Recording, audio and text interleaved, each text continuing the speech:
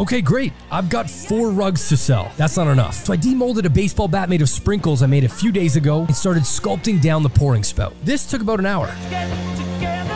Then I mixed up a batch of resin, poured in some sprinkles, and let them fully sink on their own.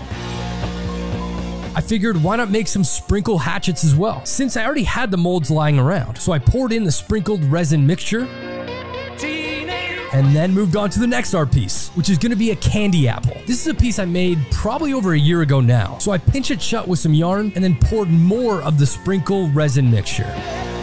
Lastly, taking some carpet glue, I coat the entire back of all of the rugs. I do this last because it does kind of smell and I didn't want to breathe it in the whole time. And then I rushed home